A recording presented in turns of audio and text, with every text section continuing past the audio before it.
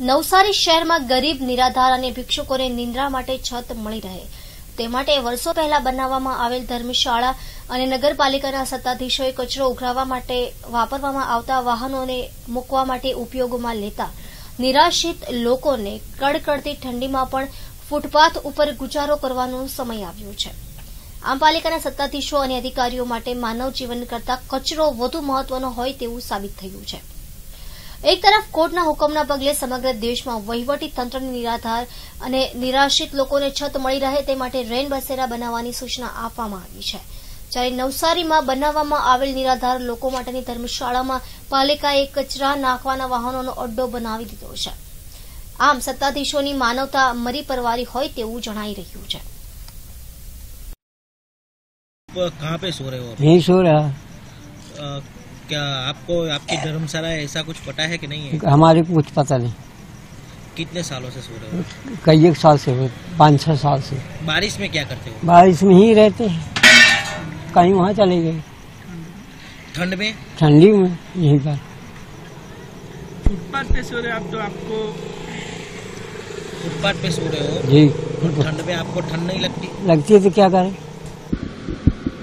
नवसारी नगर पालिका ये गुजरात की एक ऐसी अजायबी नगर पालिका है कि जहाँ पे कचरे की सुरक्षा के लिए, सिटी का जो कचरा है उसकी, उसका, उसको सुरक्षा करने के लिए गार्ड तैनात किए जा रहे हैं। उधर बड़े पॉइंट खड़े किए जा रहे हैं और आगामी, नज़दीक आने वाले समय के अंदर लाखों रुपए इसमें बर्बाद होने वाले कचरे की सुरक्षा में। जबकि वो कचरे का मूल्य भी उतना नहीं होगा।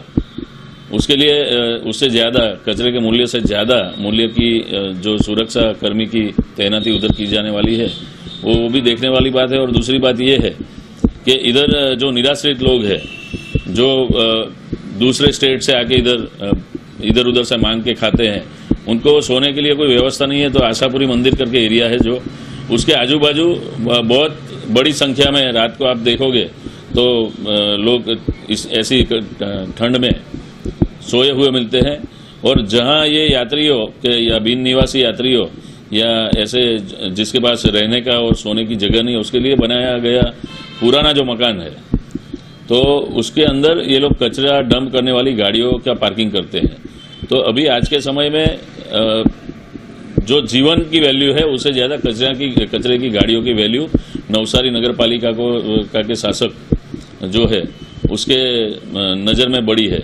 तो इस बारे में कुछ भी अ, आगे करना चाहिए और वो रिनोवेट करके पूरा अ, जो भी भवन है ये अ, निराश्रितों के लिए उसको रिनोवेट करके उनको उनका हक मिलना चाहिए रात को सोने की व्यवस्था वहाँ पे उसको होनी चाहिए પાલિકા બિલકુલ એ દિશામાં વિચાર કરી રહી છે અને ભારત સરકારની એક રેન બેસરાની એક યોજના પણ આવી છે અ, એમાં પ્રથમ તો આવા નાગરિકો શહેરમાં કેટલા છે એને આઈડેન્ટિફાઈ કરવાના છે. એટલે નગરપાલિકા એક અથર્વ ફાઉન્ડેશન કરીને સંસ્થા છે.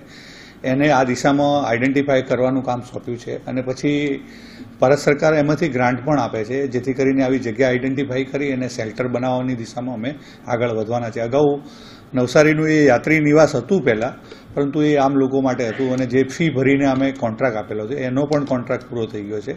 તો એ દિવસે એને પણ ફરીથી નવેસરથી હરાજી કરવાનું કામ ગત કારોબારીમાં મૂક્યું છે મૂક્યું હતું અને એનો નિર્ણય થયેથી અમે આગળ વધારશું. અને આપનું જે સૂચન છે કે જે ગરીબ નાગરિકો છે, જેઓ ઠંડીમાં ઠરઠરતા હોય છે, એના માટે એની યોજના હોવી જ જોઈએ અને સરકાર એમાં ચિંતિત છે. ભારત સરકાર એના માટે ગ્રાન્ટ પણ આપે છે. જગ્યા આઈડેન્ટિફાઈ કરી અને શેલ્ટર બનાવવાની દિશામાં અમે જરૂર આગળ વધશું.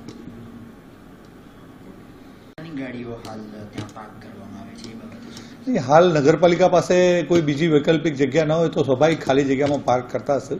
પણ એક વખતનું તમામ વસ્તુઓ આઈડેન્ટિફાઈ થઈ જાય. તો ત્યાર પછી એ કરાવશું કારણ કે કચરાની ગાડી ત્યાંથી હટાવી લીધા પછી જો એ વોટર બોડી હશે તો અમે શેલ્ટર નહીં બનાવી શકીએ. એટલે જગ્યા જે વસ્તુ માટે આઈડેન્ટિફાઈ કરેલી હોય તે જ અમે બનાવી શકીએ. નગરપાલિકામાં દુધિયા તળાવના કિનારે વોટર બોડી હોય, એમાં કેટલાક ભાગમાં અમે કન્સ્ટ્રક્શન ના કરી શકીએ અથવા શેલ્ટર ના બનાવી શકીએ. એટલે ગાડી વચગાળાની વ્યવસ્થાના ભાગરૂપે કદાચ પડી હશે. પરંતુ અમે પરમેનન્ટ સ્થાયી સ્ટ્રક્ચર ઊભું કરવા માંગીએ છીએ અને સરકાર એમાં પૈસા આપવા તૈયાર છે. પછી એમાં બીજો કોઈ પ્રોબ્લેમ નથી. સર હાલની જે મોસમની સ્થિતિ છે એને જોઈને આપણે વૈકલ્પિક રીતે જેમ કે તમે વાહનો માટે વૈકલ્પિક વ્યવસ્થા કરી શકો છો તો તમે માનવો માટે નહીં કરી શકો કેમ કે પાલિકા તો કચરા માટે પણ